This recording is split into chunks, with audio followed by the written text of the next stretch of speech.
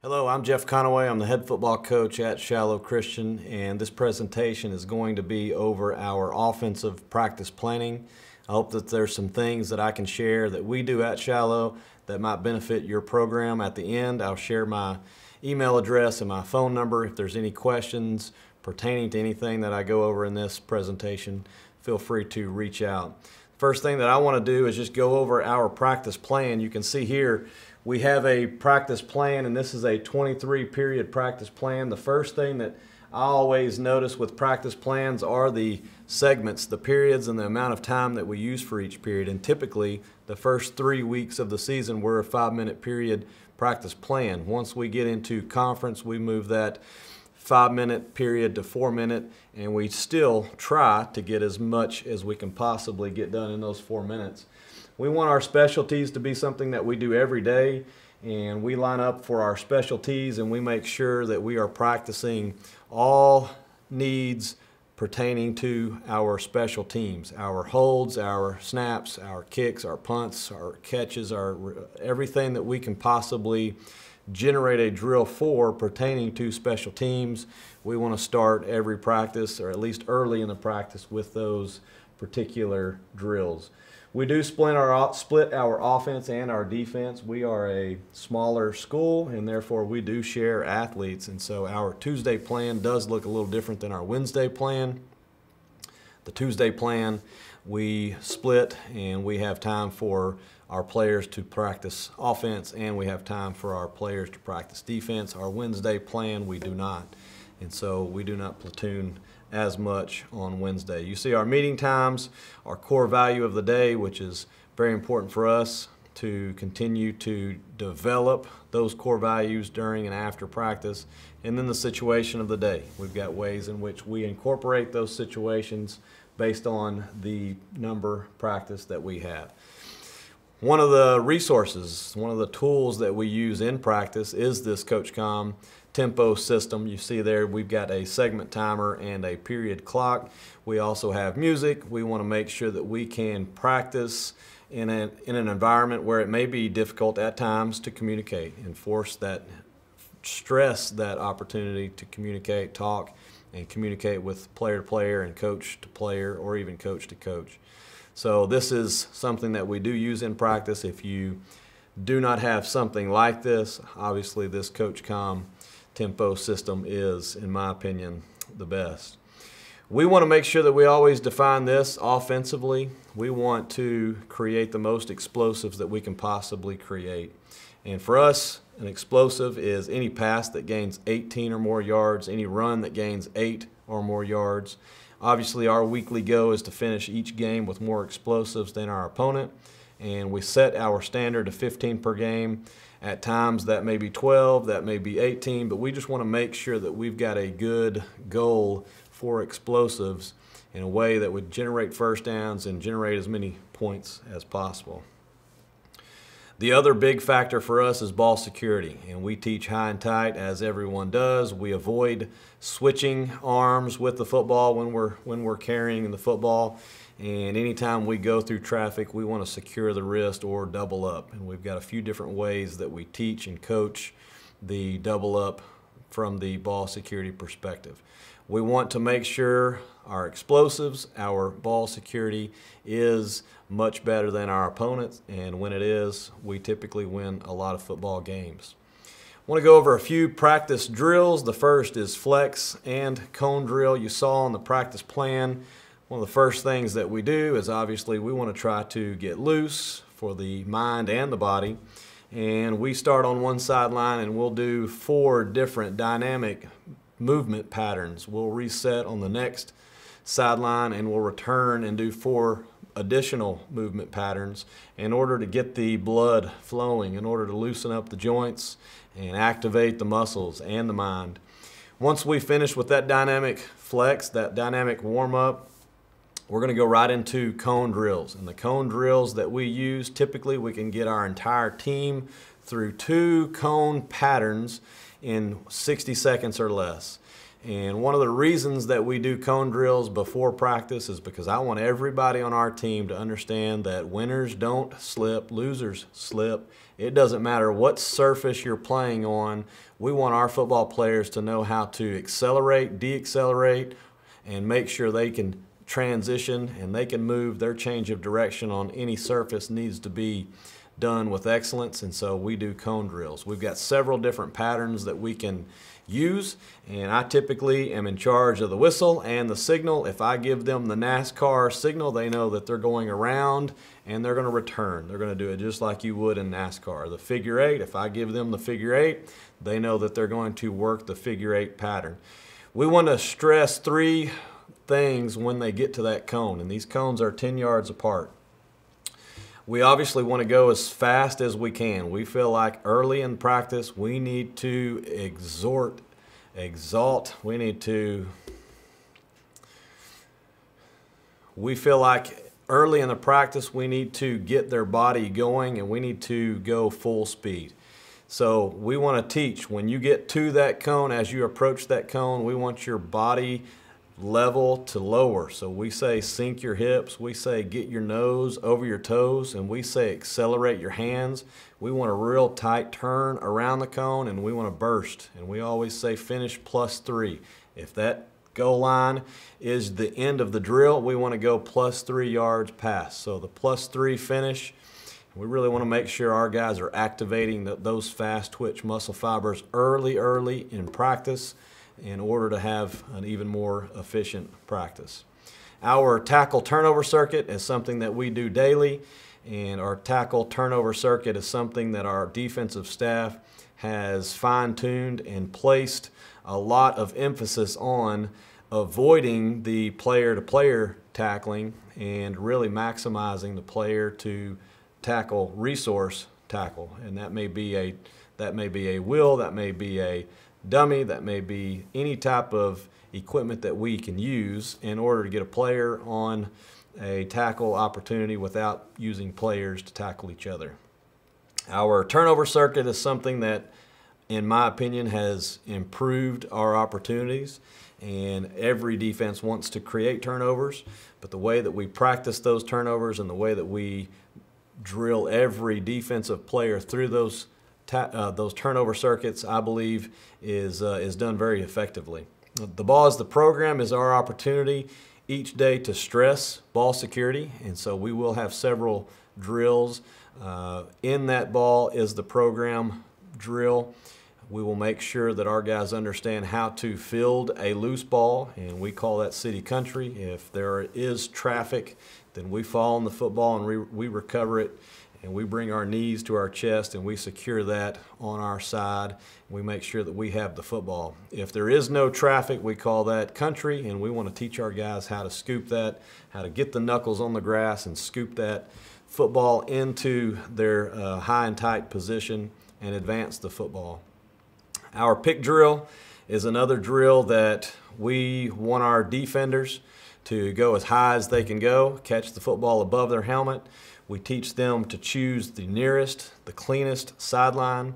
We want the closest defender to the interception to go and make sure they take out, make sure they handle the intended receiver.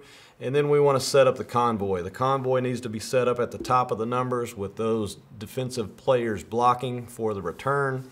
We want our return guy to be at the bottom of the numbers. If he gets bumped, we don't want him to step out of bounds. So running down the ticks or the sideline is not the most effective way. We want to make sure there's room to move if he is bumped, collisioned, tried to get tried to, to get tackled on the bottom of the numbers.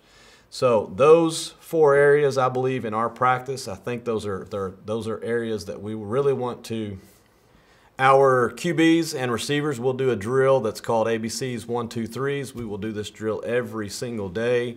And in my opinion, this is just an opportunity for us to develop some confidence. I feel like if our receivers and quarterbacks can throw and catch with efficiency at the beginning of practice, I think they will throw and catch with much more efficiency later on in practice. And so these are simple opportunities for us to just teach how to place the football, where to maneuver our hands in order to catch the football. But you can see there we line our quarterbacks 10 yards apart. We've got receivers on their right side, and we are just taking a circle approach to get through all of these catches. The first one you see there is on the nose, and we want to catch everything extended, eyes on ball, squeeze the ball, tuck it away. We want to make sure that we, as a receiver, know how to catch the football with our hands and not our body.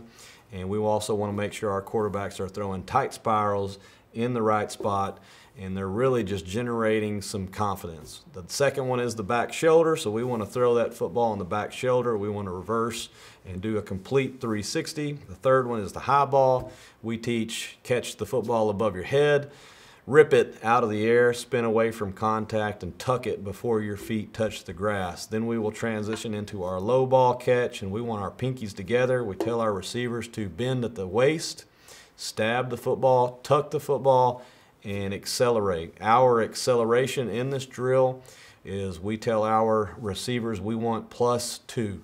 So we want to go two lines of full speed. We don't need you to run 50 yards full speed, but we also don't want you to just run two yards at full speed. We always want two lines. And so if you catch the football at the four yard line, you need to run full speed past the five and the 10. If you catch the football at the six yard line, you need to run full speed past the 10 and the 15. Once we transition to the next, it's the zoom or the jet, and we're going to catch the football as a quarterback. We're going to pitch that, so we believe that we need to work that in practice. And this is a very, very fast, effective way to get those zoom motions lined up as far as the timing between center, quarterback, and the motion man, and also just taking care of the football. The sixth opportunity is the hitch route, and this is where we really start to go a little bit faster. The first five are at about 70, 80%. These next few are full speed. So we're going to run the hitch, we're going to run the out, we're going to run the fade, and we're going to throw and catch with efficiency on all three of those. Once we get to nine, we'll talk about the face-to-face. -face. The receiver lines up in front of the quarterback, the quarterback sends him, and the receiver catches that face-to-face -face ball. And it really creates a lot of opportunities for us to coach both the quarterback, the receivers, the running backs. There's, there's a whole lot of coachable, teachable opportunities inside each of these catches, and we want to make sure that we're teaching them the fundamentals of catching. I believe if we do this correctly, our quarterbacks are going to complete a lot of passes to start practice, which is always good. I believe our receivers are going to always catch a lot of passes early, which is always good. Again, we're trying to build confidence. We're trying to develop some muscle memory. We're trying to teach them the most fundamental elements of throwing and catching. And if we are going to be great at it, we must master this. If we do not master this, I don't believe we're going to be great on Friday nights. The next thing that we have in the presentation is our philosophy of great in the middle eight. And the way that we teach this is we want to stress the last four minutes of the second quarter, and we want to stress the first four minutes of the third quarter. We feel like these are two opportunities inside practice where if we really, really get great in the middle eight, we can drastically change the score of a football game. If we can stop our opponent inside those four minutes of the second quarter, we can get the football back and we can go score. And then to open up the third quarter, if we can do the same, whether that's go score or stop our opponent, we feel like we can really stretch the margin of victory. We can stretch that score, and there can be at times a 20, 28 point swing if we are great in the middle eight. So the way that we do that is we typically will end our first half of practice with a competitive team session. Typically that's offense. That's offense going up against our defense and whatever the scenario may be. If we are on a Tuesday practice, that's typically a yellow zone opportunity. If we're on a Wednesday practice, that is a goal line opportunity. But we want that session to be highly competitive. We want that session to be intense. We want to be able to blow the whistle and transition to a halftime. That halftime will either be a five or a four minute period, but we want our players and coaches to be able to push pause, be able to reset, and be able to relax, if you will. In that time, we will also talk about our sideline etiquette and our sideline protocol. We want our, our football players to have their toes on the gray line. We want their helmets on, their mouthpiece in. We want them to be ready. But that is a time that we're trying to make feel as if it is a Friday halftime by giving them that opportunity to push pause, reset, and start up in the second half. So we will follow our halftime with special teams. And typically during that five or four minute period of halftime, our special teams coordinator is coaching up the next phase of practice. The next four or five minutes will be a special teams unit. It might be kickoff return, it might be kickoff, but he's going to give them instructions. We're going to get our scout team ready. We're going to get everybody on the line, and then we're going to blow the whistle, and we're going to transition into that special teams unit. We want to stress being great in the middle eight, the second half of practice, just like we did in the first, and so we will add an additional competitive team session somewhere early inside those four minutes and try to get our guys to make sure they're, they're making the most of that middle eight opportunity. Again, halftime, we want to reinforce where we stand. Our toes are on the line, our helmets are on, we're engaged in practice. And I really believe that if you want your players to act a certain way on the sideline during the game, you need to have a plan in place in practice to coach them and teach them what that expectation is. I feel like we have a good understanding during the week through practice and also during the game of what really our sideline should look like.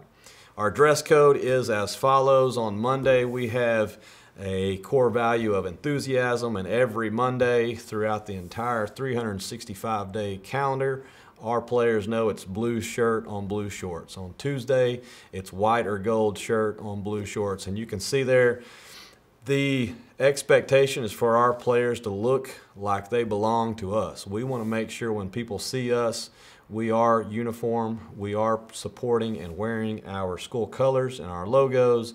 I'm not a big fan of multi-colors, and so we tell our players it's white cleats, it's white accessories. If you want to wear gloves, that's great, wear white gloves. If you want leggings or armbands or whatever that may be, you want to wear an undershirt, it needs to be white. And I really feel like this unites us.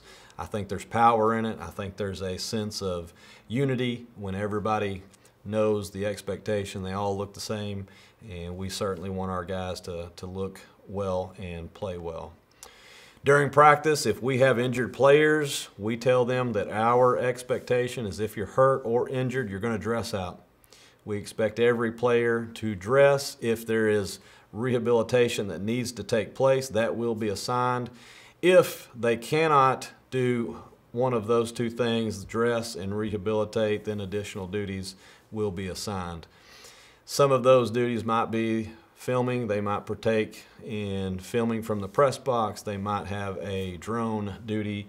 They might help with some other drills, but we really want to stress everybody dresses out every single day. And the only real injuries that would prevent that would be some sort of injury where maybe a player is on crutches and they just can't participate. So we certainly will find a task for them to do. We don't want anybody to stand on the sideline and not bring value to our practice, and so we expect everybody to be involved and give us the best they can give us. We do allow our ninth graders to participate once a week. They practice with our senior high every Tuesday. After their season, they do get promoted and they become a part of our senior high football team. I really believe that this generates a familiarity of how we run our senior high program and really gives our ninth graders an advantage moving into their sophomore season. If we have 15 weeks of football, that means they get 15 Tuesday practices. They also, after their season, will move up and get those additional playoff and championship practices with our senior high. So you can see that there's several opportunities for our ninth graders to feel like they are ready as a sophomore because they've gotten so many practices with our senior high football team. Our scout team preparation, I really believe that there is such value in this. Our coaches typically will address the team before practice and they will meet with the scouting, the scout teams. They will uh, coordinate which player personnel is in whatever unit that may be, and also who's who's doing what. And so the scout team preparation for both offense and defense, and also special teams, we typically will do before practice and make sure we are prepared during practice. As far as our coaches and our expectations at practice, you know, some of the things listed on here refers to a Thursday early morning practice, our sprint through practice. And I really believe that as a head coach, we have to define what we want our coaches to do while they're on the field. We can't take anything for granted. We can't assume that they know what the expectation is unless we tell them. And so I want to make sure I'm clear with make sure you're here at this time and make sure you're doing this. Make sure you're enthusiastic. Bring the juice and your whistle. It is a practice. I want you to use that whistle. We talk about coaching up your stretch lines, hold them accountable to do it the right way, attention to detail, coach your position during every special teams, enhance your personnel exchanges, and just make sure, be a step ahead. Don't be behind. Um, just make sure you're on the field using your practice plan, be on time. Um, don't be a zoo tiger. A zoo tiger is a tiger in which someone's always telling him what to do and when it's time to do it. Time to eat, time to move, time to exercise, time to sleep. We want coaches that understand how to get things done, take the initiative, be ahead, make sure you're well planned. You're not forcing someone to tell you what to do. You're able to go out there and lead and be the best coach of your position.